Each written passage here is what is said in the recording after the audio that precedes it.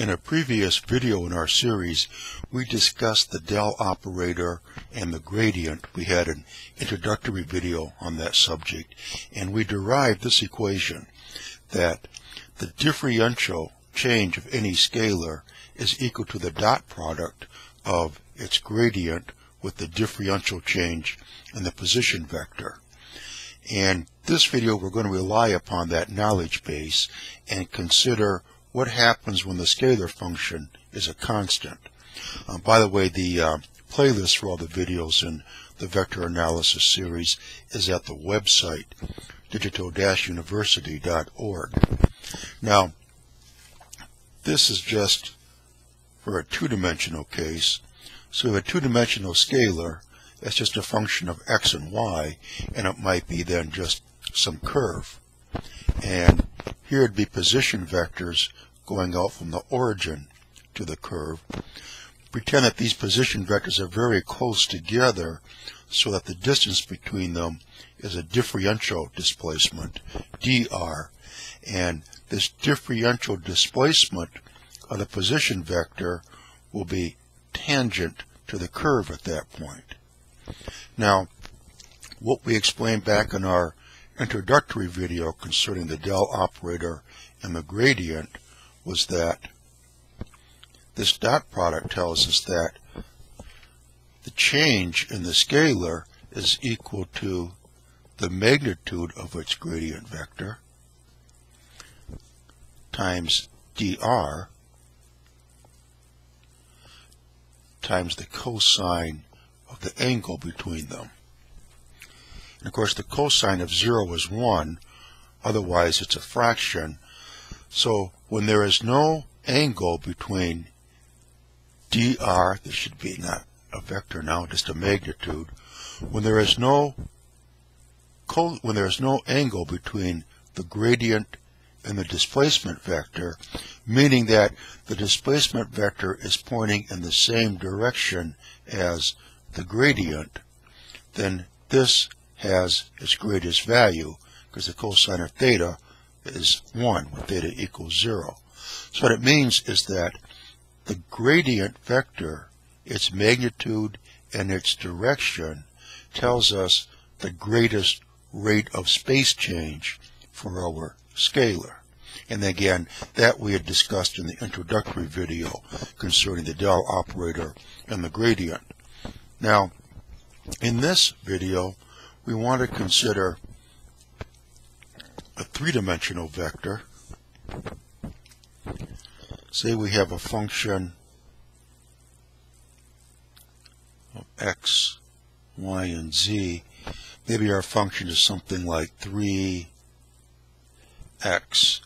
minus 4y plus 2 times z is equal to some constant. Say this equals 1. So now this is our scalar.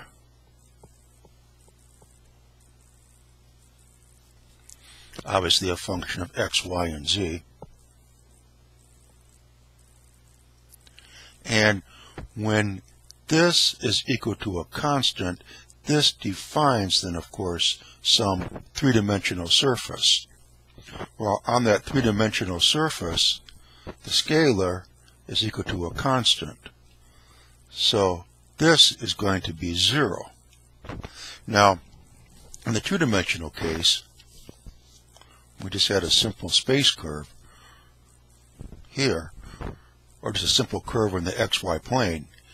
We have our position vector, and again, the differential displacement of our position vector is tangent to the curve at that point. Now, when we have a three-dimensional surface,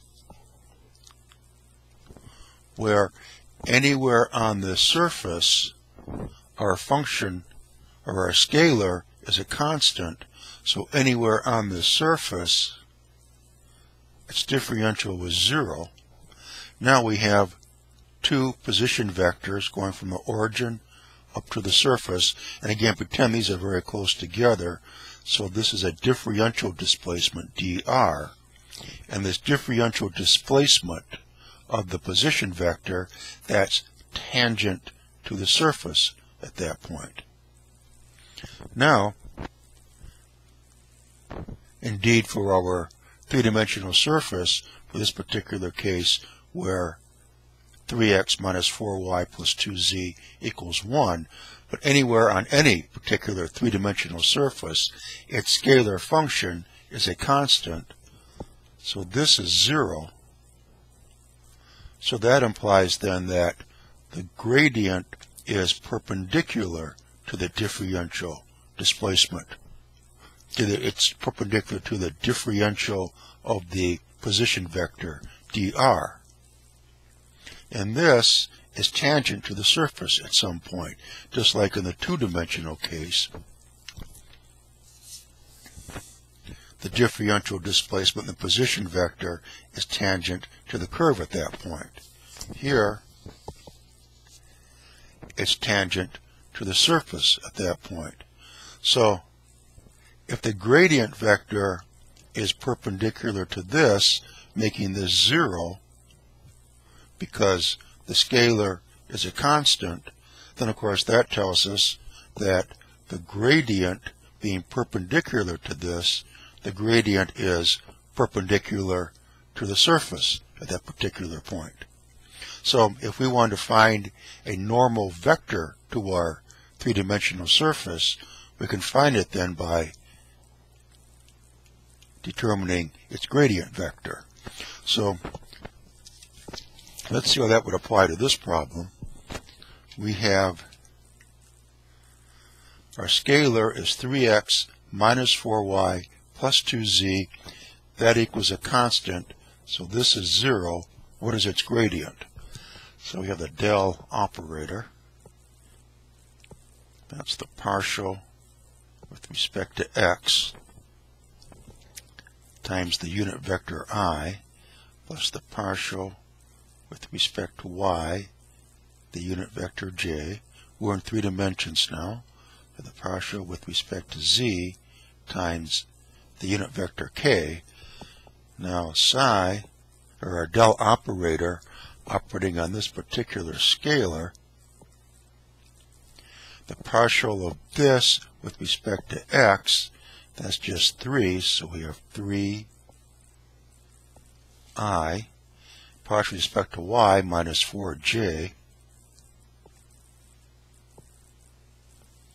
and the partial with respect to z, that's 2. So this vector is perpendicular everywhere to this particular three-dimensional surface. So a unit normal vector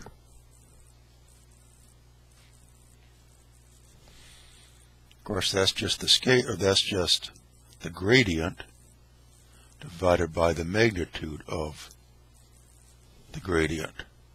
And here the magnitude will be the square root of 4 plus 16 is 20 plus 9 is 29. So for our particular problem, this would be 1 over the square root of 29 times